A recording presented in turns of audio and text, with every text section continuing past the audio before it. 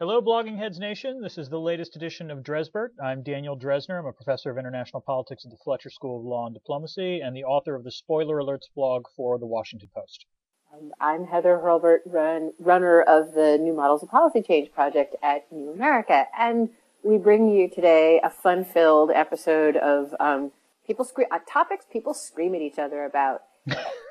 and so we're going to start with TPP, the Trans-Pacific Partnership Trade Agreement, and the fast track agreement that uh, Congress is attempting to vote on. And um, counter to the usual, where Dan takes the lead on subjects of international economy, I got a little tip from Dan that he's actually going to try to make this all about stuff he claims I understand better than he does. So we're going to see how that goes. Dan. Well, so the reason I say this is because, I mean, if you want, we can talk about the substance of the TPP, but I mean, I've, I've written about that, and I think we've had some back and forth on this, which is my, my general take on this is for strategic reasons, I think it's a good, if not uncomplicated idea, and for economic reasons, I also think it's a good, if not uncomplicated idea.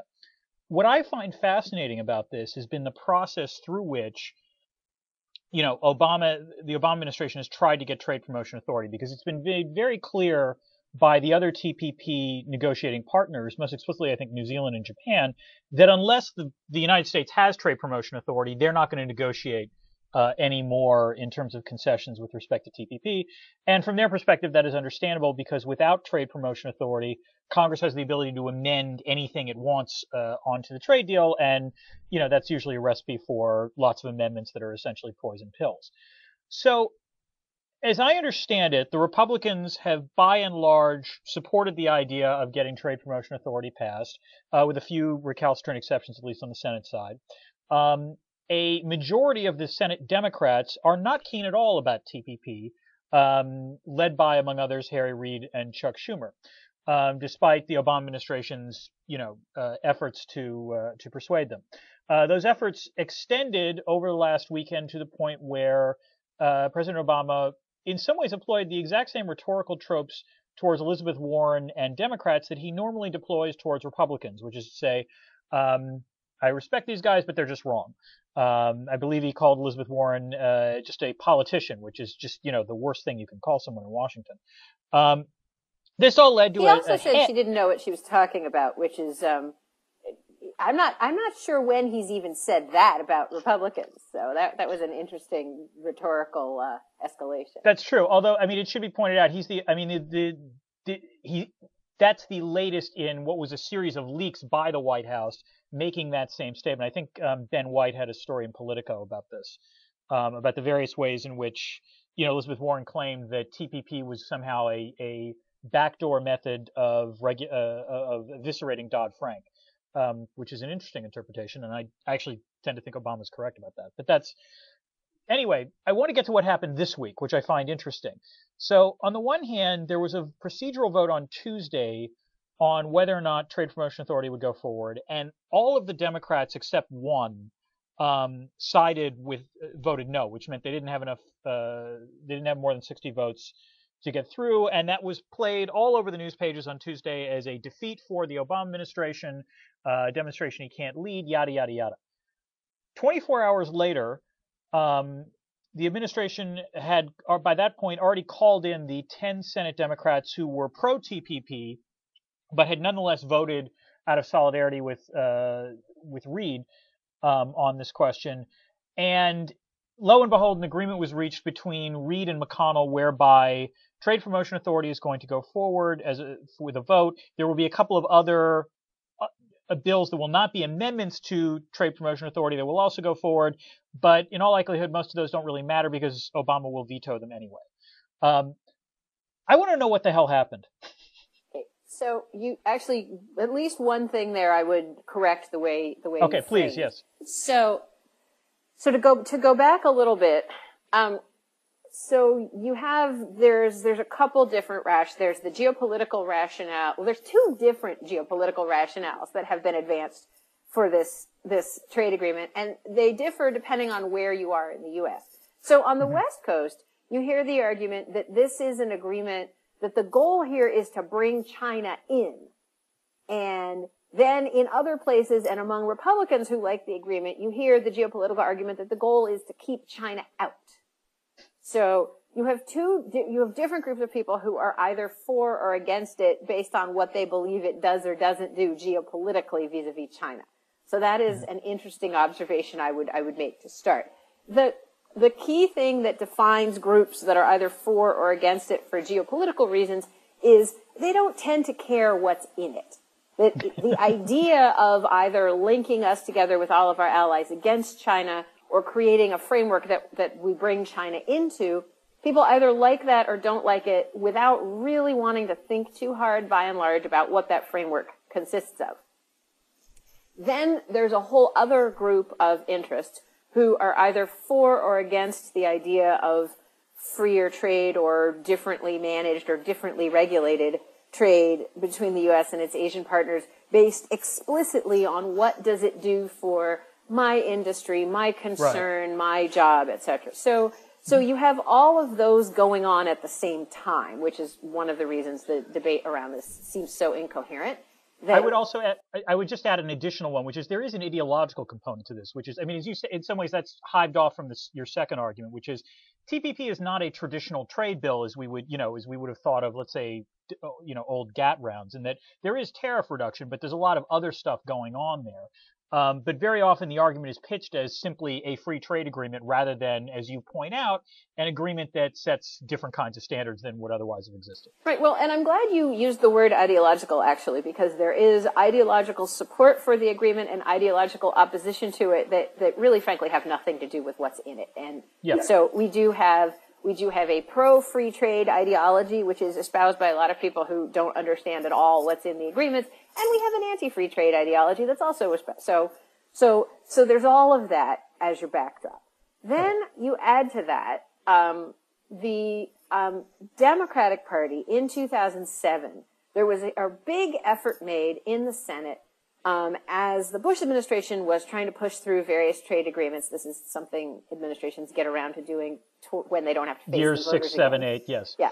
Um, where the basically different wings of the party got together and said, okay, what can we hammer out some standards for how we want to do trade?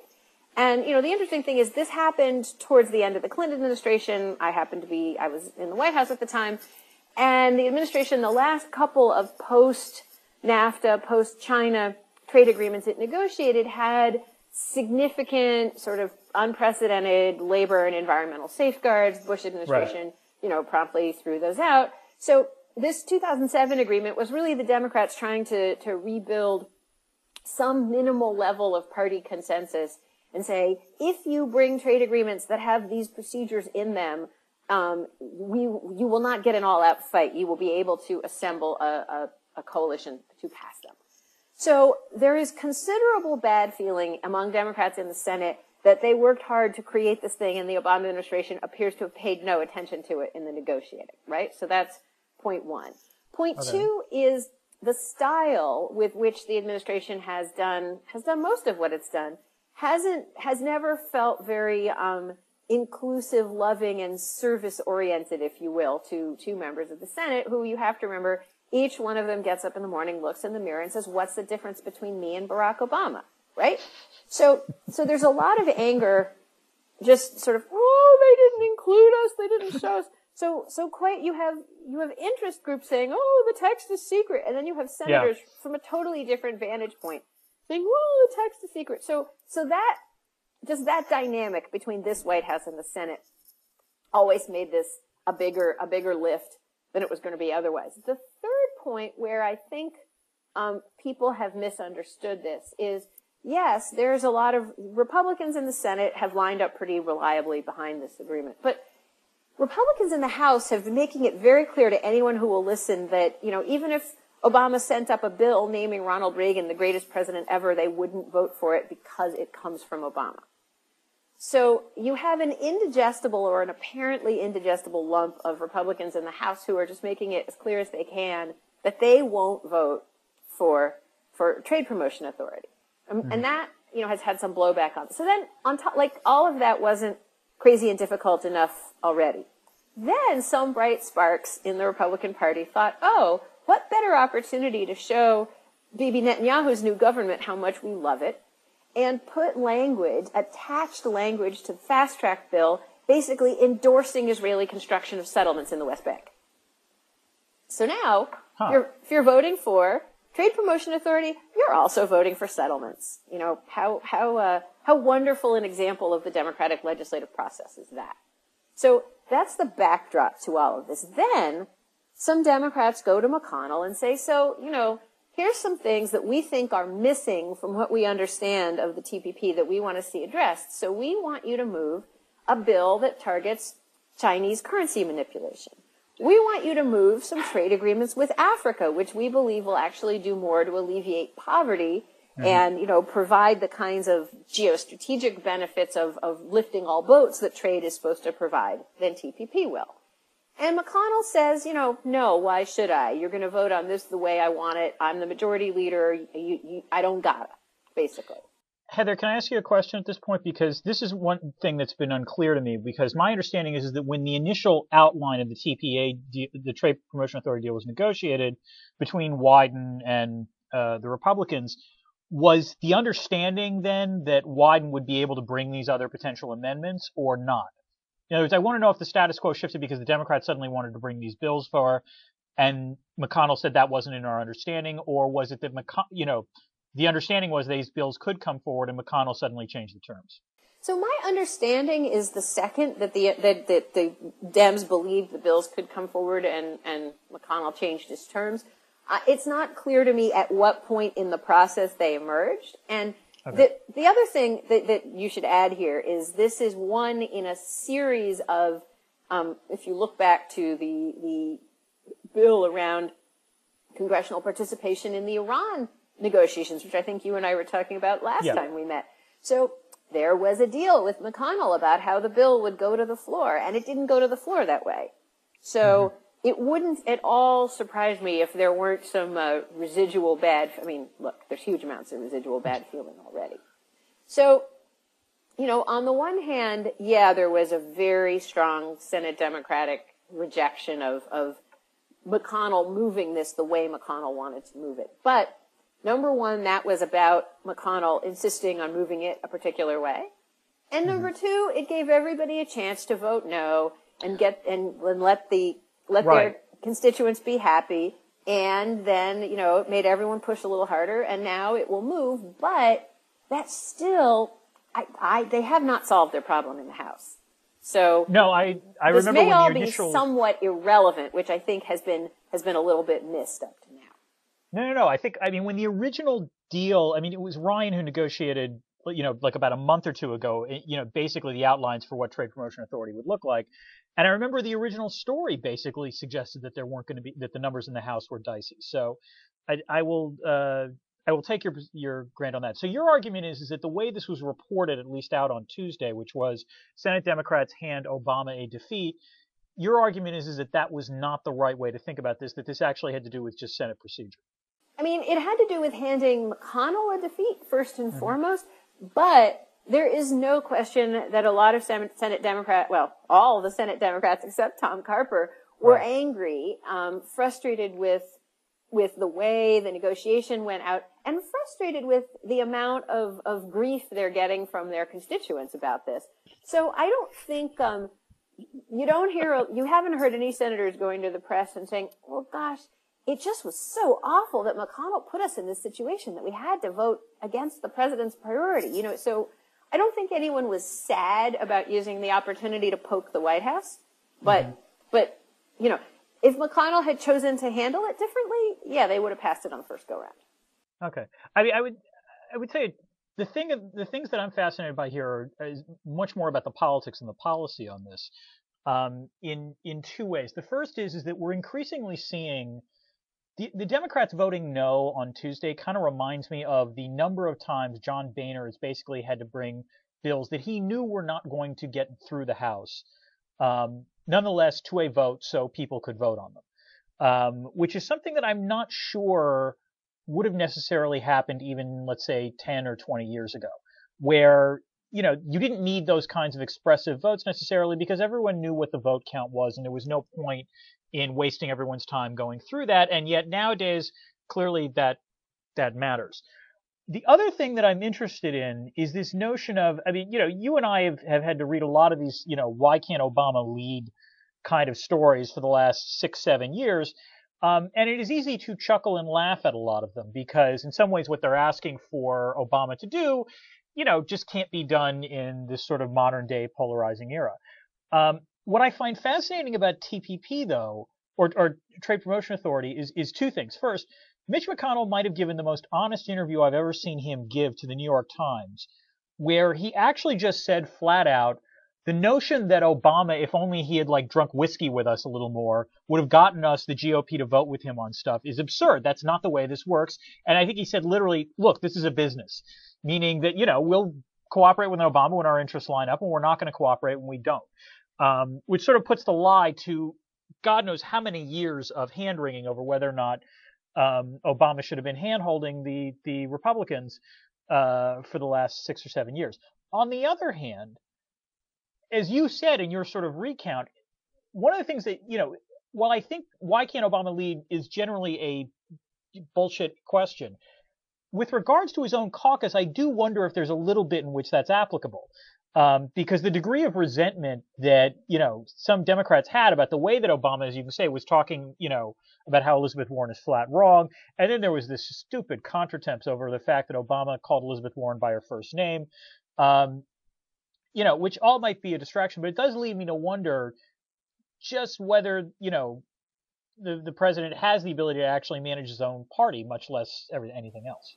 Well, I mean, to be fair, any president's ability to manage his own party declines as his second yeah. term wears on. So, right. So there's a certain element of um, things that have festered for a while and maybe are not that relevant anymore, but coming up now.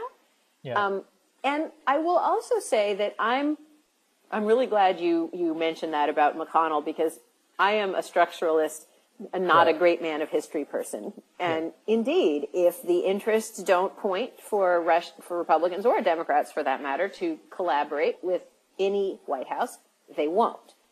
And that is, I don't know, 90% of, but there is the 10%. But there is the 10%. That, right, exactly. that a leader has to frame how, how other leaders perceive their interests and how other leaders perceive that he or she can affect their interests.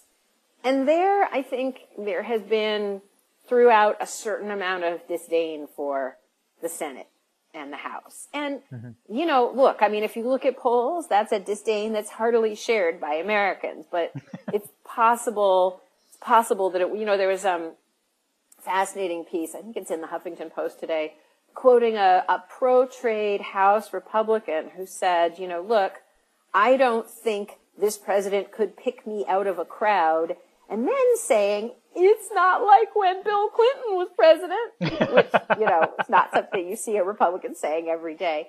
So so yeah, there is there is a personal element, and actually, funnily enough, we really have completely switched roles here because I want to go back to the policy a little bit. There we go. um, in that you know there's there's just some of I think the way this was handled stylistically relates to some policy choices that were made early on. Mm-hmm. And, you know, you could have looked at this big agreement as sort of your key goal here was to forge a new American consensus or a new democratic consensus if you were feeling more, more, um, partisan on that particular day on, on how to do trade. And you could have said the most important thing in how we negotiate this agreement is in sort of bringing my whole party or sort of having a coalition, having a broad coalition and bringing it along with me every step of the way. Um, or you could say the most important thing in negotiating this agreement is that we have an agreement. Mm-hmm. And who's the engine of how we get at the agreement? The engine of how we get that agreement is big corporations that have sway both in the U.S. and in the other societies. So right. who is it most important to have thoroughly bought into the deal? And then you could also see why a Democratic president would think, well, if we have big corporations bought into the deal, that will ensure in the end that we bring enough Republicans along to get it through and that business will do some of the heavy lifting and I, the Democrat, will not have to do all the heavy lifting. So I think a choice was made. W- whether it was made consciously or whether it was just made out of force of habit, I'm not really sure. But to say, no, you know, it's going to be too much trouble. It's not the most important thing. Maybe they don't really care that much anyway. So we don't need to go through all the extra hassle and bother and internal negotiating that it would have taken to do trade agreements in the way that the, the 2007 Senate agreement, Senate Democrats agreement imagined. We're just going to sort of hand it over to the guys and their friends from the Chamber of Commerce and we're going to send them off to do it. And well, that, not, that made I'm, it kind of inevitable that you would have a lot of secrecy and a lot of angry interest groups outside the process. True, although I'm not sure your first option ever was going to be viable. I mean, bear in mind, we are in year seven now of the TPP using what Obama, you know, took the second option that you offered, um, which in theory should have, you know, been a more expedited process. And this is sort of barely getting there. And one of the interesting questions is, is that, you know, whether or not, assuming this passes the Senate and passes the House, and assuming TPP finally gets negotiated, the elements of Trade Promotion Authority are such that you have to wait four months before Obama can bring the bill to Congress anyway, which means we're going to be in 2016 probably when this happens. Um, which, you know, and again, this is the expedited route. It is far from clear to me that the first way that you were talking about would have actually led to any version of Trade Promotion Authority being passed. Maybe if the Democrats had held on to their, you know, the Senate majority uh, in the midterms, but I think once that happened, you know, if if you're the president, this is the logical course of action. And in some ways, this goes to the second point on in terms of policy, which is what is the purpose of the TPP? I think from Obama's perspective, I have to say I'm actually struck by this is the president who, for the first six years of his you know in office, was barely, if at all, enthusiastic about his own trade agenda. Um, and it is striking to me how in the last two months he has suddenly become much more full-throated about this in a way that I had not seen him uh, before. Um, I can guess what this is about. I mean, it's part, you know, people will say it's about legacy building. I don't think it's enti- that's really fair. Um, but I assume one of the things he wants is, from a strategic perspective, he wants the deal because the deal sends important signals to key allies. And fortunately enough, I don't think is seen necessarily as terribly threatening or containing by China, in fact Well, this is where I think, you know, that thing that we love to tell kids about the, uh, the thing that looks like the shortcut not necessarily being the shortcut. Mm-hmm. Um, so if this, de- if, if Trade Promotion Authority doesn't get through the House, mm-hmm. right? And if Trade Promotion Authority doesn't get through the House, you know, there'll be two stories. One story is there'll be a bunch of Republicans that, you know, as I said, wouldn't vote for wouldn't vote for a bill to name Ronald Reagan the greatest president ever if it came from this White House. Obama, right, right. But there will also be a group of Democrats who yes. looked at their president and just said, no, yeah. we're, we're ha-. and then you got to ask yourself, should you have invested more energy at the beginning to make sure that your own party was going to trust you and stay with you on this? Even though they're not the majority anymore, you still would have had enough votes to move to move trade promotion authority through. And so in, in that sense, you know, would you and if you're you imagine yourself being the next president, I mean, and I think, you know, pretty much anybody I I know that Secretary Clinton is trying to avoid getting sucked into this for reasons for reasons that are politically understandable if which painful, we'll get to in a second yes if painful to watch but yeah. you know so you imagine being president from either party in 2017, and which would you rather inherit? Would you rather inherit a negotiation that had dragged out a long time, or would you rather inherit a negotiation that had come to completion and your predecessor hadn't been able to get through Congress? So, you know, the, the thing that seems more expeditious is not always more expeditious. Hmm. Although that gives me hope actually that the deal will actually get through, period, in the end. But that's a whole uh, that's a separate conversation. But your your mentioning of Hillary Clinton and the 2016 race that is heating up strikes me as a lovely segue uh, to talk about the big speech that Senator Marco Rubio gave uh, yesterday at the Council on Foreign Relations. Um, I don't know if you had an opportunity to hear it or read it.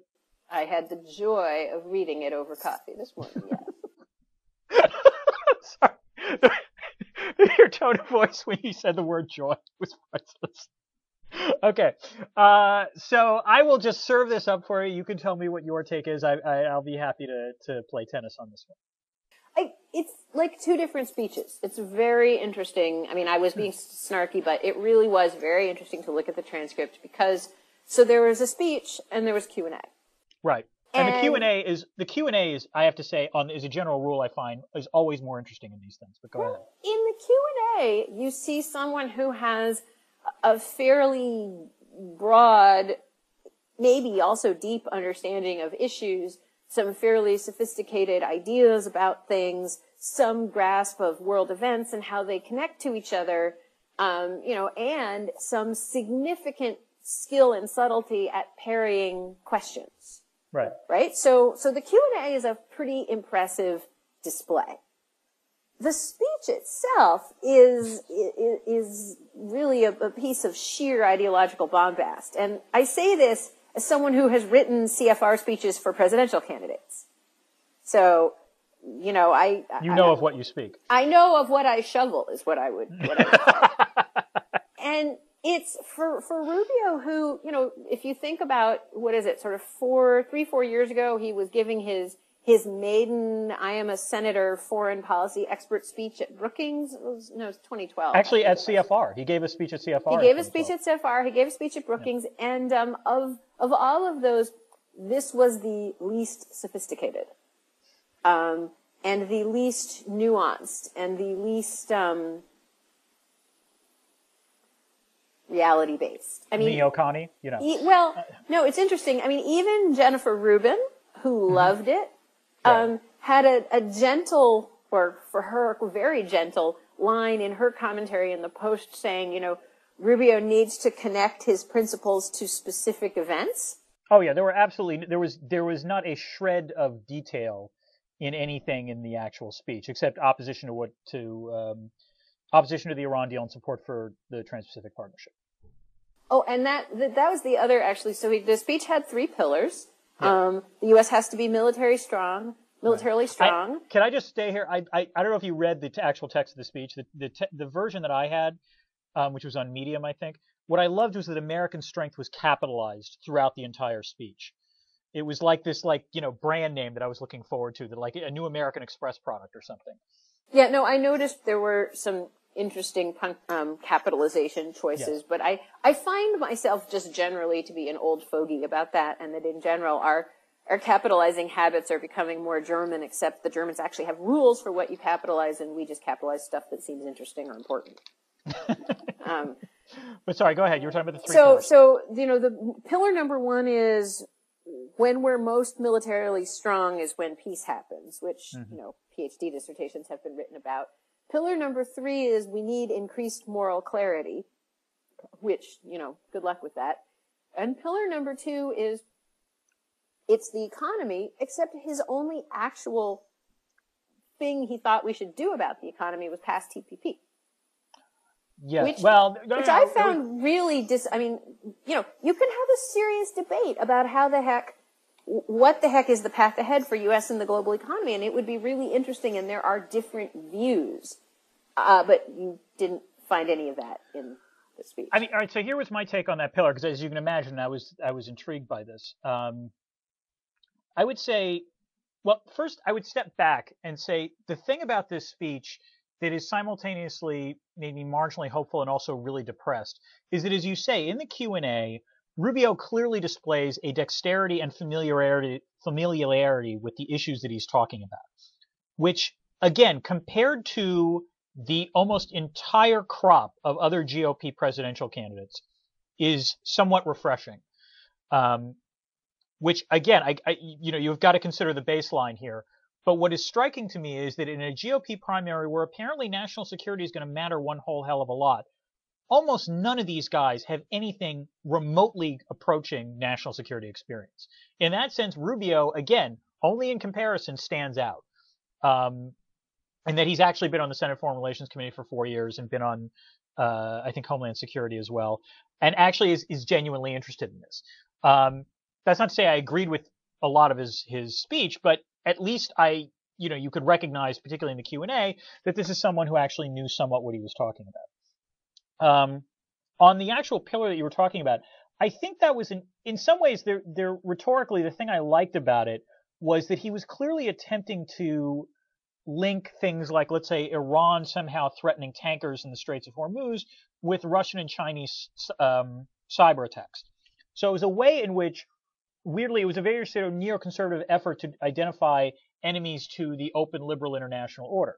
That said, as you point out, the problem with that part of the speech is that all he says is, is, is that he's going to use American power to protect the global economy without any explanation about what exactly he means by American power or what sort of tools would be used or how or what are the risks or any of that.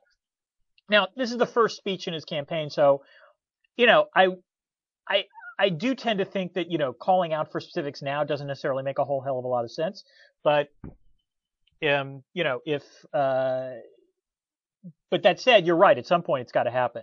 My concern is that, frankly, the state of foreign policy uh, rhetoric among the GOP presidential candidates at this point is so low that Rubio will actually look deft by comparison.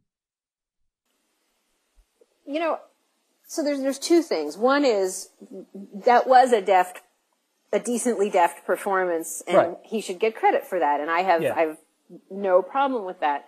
Um, I do think that it's a mistake to frame um, it's a mistake to frame what the GOP primary candidates are going to be trying to hone in on as, as a foreign policy debate in any way, because what it really is is an American anxiety debate.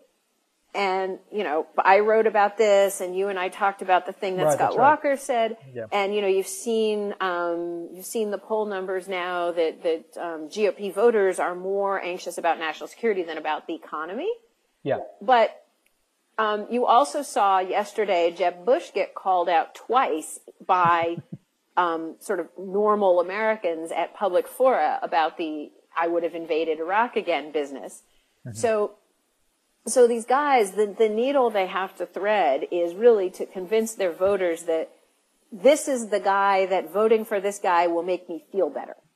Well, this so this is something that I've been writing about for about a year now. But the argument I would make here is that you're right that, that what what Americans are uncomfortable with is they don't like the outcomes right now of current American foreign policy. They don't like the fact that Russia is in Ukraine. They don't like the fact that Iraq seems to be falling apart. They don't like the fact that Syria is in a bloody civil war, um, or that China seems to be, you know, throwing its weight around in the South China Sea.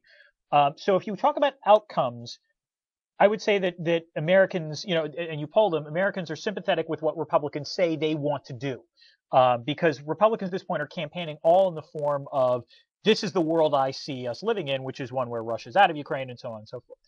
But the moment you shift the questions from foreign policy outcomes to foreign policy outputs, as in what should the US government do, then suddenly, I think even in some cases, Republicans start, you know, expressing preferences that are much more consistent with what the Obama administration is actually doing. Um, and so that's the trick on this one, which is to say that, uh, and I think that's why I am concerned about the lack of detail going forward because there is no incentive for any of these guys to provide detail because it's much more sensible for them to say is essentially the world is on fire and I will put the fire out without saying exactly what I'm doing to put the fire out. Well, and I think the reason for that, at the risk of, of repeating myself, is that even more than outcomes and outputs, what people vote on is is is how do I feel? How does this guy make me hmm. feel? Mm. And, you know, the, the genius of Scott Walker, which, you know, I know is not a phrase that everyone is comfortable with, but the genius of Scott Walker is that he clearly understands, grasps that, you know, American politics is about how the voter feels about you. You know, that, and increasingly as, as everything gets more and more, um, sort of consumerized, right? How do we feel about consuming candidate A or candidate B or candidate C? Although I would add the other the other wild card here, though, is that you know money matters to some pers- to some extent, and so it's not just how the American voter feels; it's also how the donor um, thinking about setting up a super PAC feels. And this is actually an area where it's not obvious to me that Scott Walker is necessarily going to do terribly well. In fact, that's where he ran into trouble back in January and February. And this is an area where that might be the, the edge that Marco Rubio will have going forward. Although whether that actually matters in terms of votes is another question entirely. Well, this strays a little bit outside of our, our topic area, but you know, something you are seeing in this primary that you haven't seen for a long time and maybe not ever quite in this way in American politics is that you have, you know, you have the Sheldon Adelson primary, you have the Koch brothers primary. Um, so you can, we may get to a point, or we will definitely get to a point where you have several candidates who are so well funded that money is is so relevant that it's almost irrelevant. Right, or that, that money it, it essentially you've you've hit the law of diminishing marginal returns, which is it doesn't matter if Jeb Bush outraises Scott Walker. If Walker has sufficient amounts of money, the the difference won't be that much of a uh, that much, which is which will be interesting going forward. Um, I need to get going relatively quickly. Uh, so one last point, which I'm I'm just finding adorable, is uh, the report that came out, I think by ESPN, uh, about FIFA, uh, namely FIFA President Sepp Blatter. Um, the rumor being that Sepp Blatter will no longer uh, set foot in the United States because he fears being questioned by the FBI about allegations of corruption surrounding the bids, uh, the winning bids that uh, Russia got it for to host the, is it 2018 or 2020? 2020 World Cup and um, 2018 maybe, yeah, 2018. Sorry, 2018 and uh, Qatar's uh, winning bid for the 2022 World Cup. So, Americans, we can be proud. Spain may be the country that you can't go if you to if you have committed human rights violations, but darn it, if you are defrauding football fans, the USA will never be a bastion of safety for you. Um, the other point I actually wanted to make about FIFA, kind of as a, is that you know yesterday um, people will have seen that the Pope announced that the Vatican is moving to to treat Palestine as a as a state. What people mm-hmm. may not have seen yesterday was the headline in Haaretz that Israeli diplomats were scrambling because there's a move afoot in FIFA to expel Israel. So Whoa. I was thinking, has any government, I mean, the, the, the week where you lose the Vatican and FIFA, that's a bad week for a, for a new and weak coalition government. So I just, I just leave you with, with the moment of, you know, could FIFA topple a government? Well, I will say this. I mean, what you know, someone who studies sanctions, one of the long, you know, one of the the well-known um, anecdotes about the reason the South Africa sanctions ostensibly worked. The argument has always been that, that the sort of the moment where South Africa, you know, the the South Africans knew that things were going to change was when they were suddenly um, uh, suffering from sports sanctions. If their teams couldn't compete anymore, um, in international competitions like rugby or football. Um, I think that's actually been exaggerated to some extent. I think it mattered, but I don't think it mattered near uh, quite as much as is commonly thought. Um, so yeah, that could be a problem going forward. All right. Well, you heard it first here on Drezburt. Um, Dan, it was great as always, and um, wonderful as always. I look forward to next month. Hey, my my my hometown baseball team has climbed out of the cellar. May yours do the same. Uh, don't don't even talk to me about this. The only the only comfort I draw from the Red Sox woes is that I've got a lot of writing I have to do this summer, and now I don't have to obsess about the sports pages. Until next time. Yep. Yep.